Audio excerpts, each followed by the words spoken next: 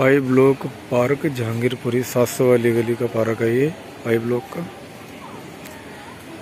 और इसके पेड़ पौधे पार्क में बहुत अच्छे लगे हुए हैं। सुबह सुबह का टाइम है, आठ बजे का।